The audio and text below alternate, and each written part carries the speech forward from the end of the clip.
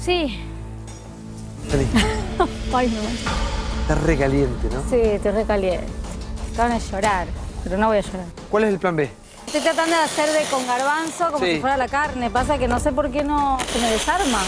Sí, acá ya se habla de maldición de brujas. Puede ser, yo estoy totalmente que a la- favor la- de la- eso. La Vale Ginsburg te hizo un... Me hizo un gualito. Vos me decís brujería y la mira la Gisborne. Male, vos no le habrás hecho un trabajo, ¿no? Eh, Con tus no, poderes. yo no, eh, tercericé.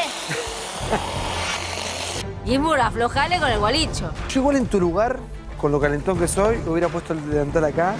Y me voy a la mierda. Como que me gustó un poco la idea, porque digo, ay, tengo unas ganas de irme a la mierda en este momento. Pero no, bueno, lo importante... No, eh, lo importante en la vida es quedarse.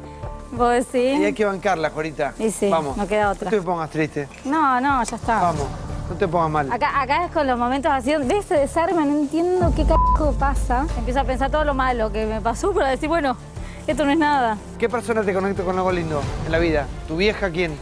Sí, mi familia. ¿Tu familia? Bueno, pensá en quién. ¿En quién pensamos?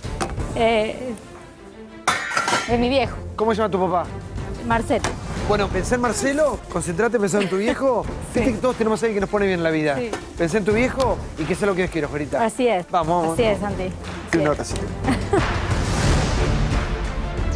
Ay, gracias, Vamos, solo vamos, más. vamos, vamos, vamos. Solo más. Vamos. Opa, opa, opa.